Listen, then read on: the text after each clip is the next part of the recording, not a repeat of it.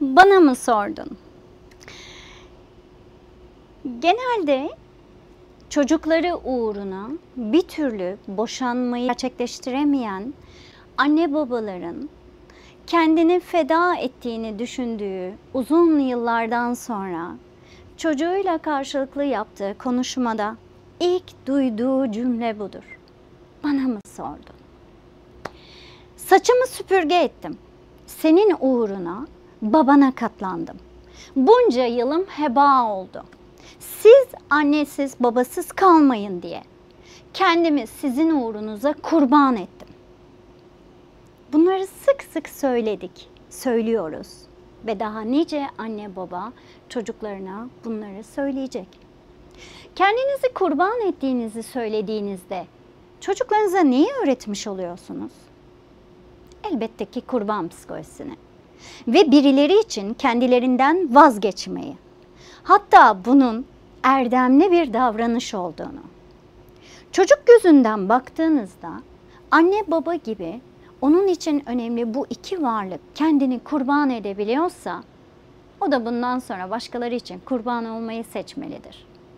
Bir anne ya da baba neden çocuğu kendini kurban ediyor? En iyi niyetle düşünelim. Çocuklarının neyine hizmet ediyor? Bunu ne adına yaptığını söylüyor. Hatta asıl beklediği şey ne? Elbette ki kurban kurban psikolojisi. Çocuklar mutlu olsun diye kendi mutluluğunu feda ediyorsun.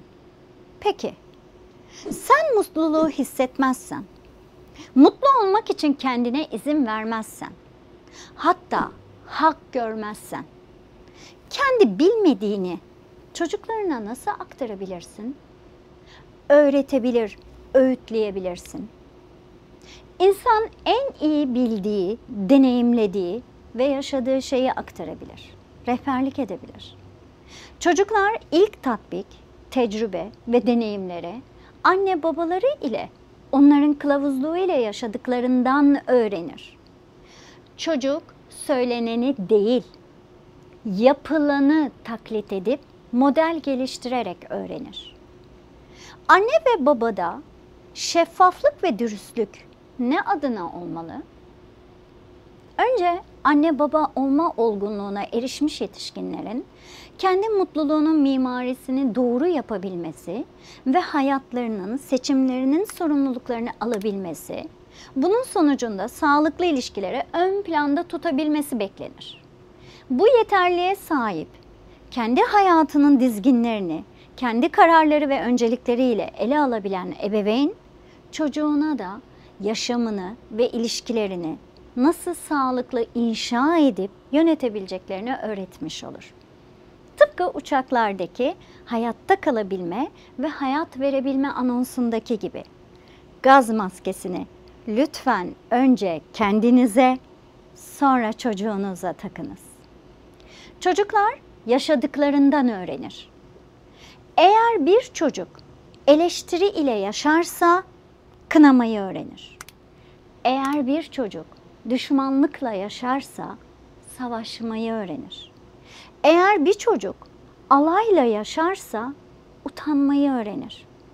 Eğer bir çocuk utançla yaşarsa suçlu hissetmeyi öğrenir. Eğer bir çocuk hoşgörüyle yaşarsa sabırlı olmayı öğrenir. Eğer bir çocuk yüreklendirmeyle yaşarsa kendine güvenmeyi öğrenir. Eğer bir çocuk övgüyle yaşarsa değer vermeyi öğrenir. Eğer bir çocuk adil yaşarsa adaleti öğrenir. Eğer bir çocuk onaylanma ile yaşarsa kendisini sevmeyi öğrenir. Eğer bir çocuk dürüstlükle yaşarsa doğru olmayı, doğru konuşmayı öğrenir. Eğer bir çocuk sevgi ve arkadaşlıkla yaşarsa dünyada sevgiyi bulmayı öğrenir.